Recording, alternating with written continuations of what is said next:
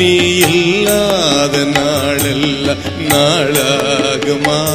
நீ இல்லாத வாழ்வெல்லாம் வாழ்வாகுமா? ஒன்று சாமுவேல் பதினஞ்சாம் அதிகாரத்துல முப்பதாவது வருஷம் கொஞ்சம் வாசிக்க பார்க்கலாம். அதற்கு அவன்.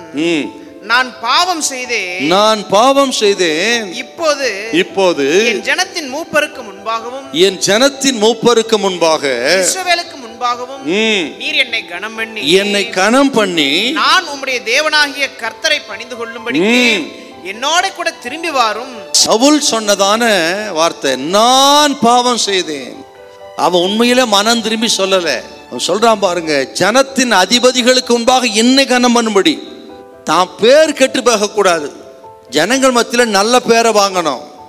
அதற்காக அவன் சும்மா சொன்ன மனம் திரும்புவது வார்த்தை அது நான் பாவம் செய்தேன்.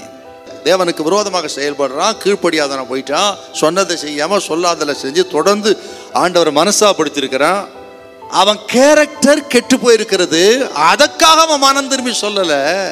தன்னுடைய கனம் மதிப்பு மரியாதை போயிடக்கூடாது அதற்காக போலியாய் சொன்ன வார்த்தைங்க அது. நான் பாவம் செய்தேன். அநேக நேரத்தில் நாம் அப்படித்தான். உலகத்தில் பேர் புகழுக்காக அல்லது மரியாதைக்காக அடுத்த நம்ம கனம் பண்ண வேண்டும் என்பதற்காக கர்த்தருடைய காரியத்துல இப்படியெல்லாம் செயல்பட்டு இருக்கிறோம் அதுதான் சவுலின் மனம் திரும்புதல். கேரக்டர் கெட்டு போயிருக்க. அந்த கேரக்டர்ல மாற்றம் வரணுமேனு மனம் உருகி உள்ள உடைஞ்சு அவன் மனம் திரும்பி இருக்கணும். அதை பண்ணல பாருங்க. அடுத்து இன்னொருத்தன் சொல்றான் பீலையாம் என்னாகும் இருபத்தி ரெண்டு முப்பத்தி நாலு கொஞ்சம் வாசி பார்க்கலாம். அப்பொழுது பீலேயாம் பீலையாம். கர்த்தருடைய தூதனை நோக்கி நான் பாவம் செய்தேன். நான் பாவம் செய்தேன். பீலையாம சொல்றான் இவன் ஏன் இப்படி மனம் திரும்பின மாதிரி நடிக்கிறான்னு கேட்டீங்கன்னா கர்த்தருடைய தூதனானவர் உருவின பட்டயத்தோடு எதிர் நிற்கிறார் இப்போ. அந்த பட்டயத்துக்கு தப்பித்துக் கொள்வதற்கு தண்டனைக்கு தப்பித்துக் கொள்வதற்கு இப்பொழுது மனம் திரும்பின போல பேசுறான் பாருங்க நான் பாவம் செய்தேன். அநேக நேரத்தில் தண்டனைக்கு தப்பித்துக் கொள்ள பிரச்சனைக்காக அதை பரிகாரத்துக்காக மனம் திரும்புறது உண்டு. ஆனால் பிரச்சனை தீர்ந்த பிறகு மறுபடியும் பழைய கதை தான். அதுதான் சவுளம் பீலையா இது உண்மையான மனம் திரும்புதல் அல்ல. இந்த கேட்கிற கத்திரி பிள்ளைகளுக்கு ஆண்டவர் எச்சரிப்பு சத்தமா இன்னைக்கு சொல்லுகிறா.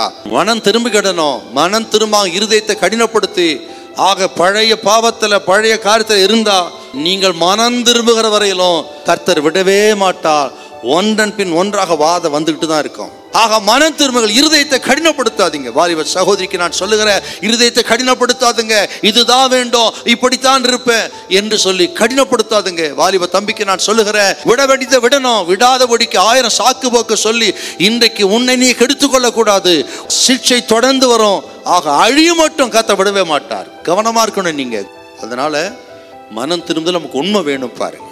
நான் சரியாத்தான் இருக்கிறேன் நினைச்சு இருதயத்தை கடினப்படுத்தக்கூடாது. ஒப்பு கொடுக்கண்டே ஒப்பு கொடுத்தால் இப்பவே கத்த தூக்கி எடுப்பார். ஹalleluya ஹalleluya